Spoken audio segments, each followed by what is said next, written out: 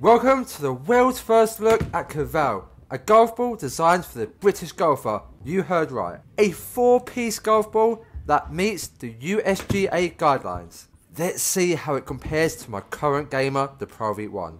The ball has a very soft feeling. Check out the spin rate. Even on the sim, you can see that ball land soft and come back. I'm a big fan of a four piece golf ball, similar to a Vice Pro Plus or a Callaway Chrome Soft. And look at this, 8 out of 8 golf balls surrounding the flag. I nearly got the perfect score on the Foresight Skill Challenge. So far, I'm impressed. Distance wise, I saw no change. It's a long performing golf ball, which is key in golf balls these days. It also has a thin black line, so you can line up the ball when putting. The only difference I could see or feel was the spin. This is perfect for the golfers who want a tour-like golf ball for a fraction of the price.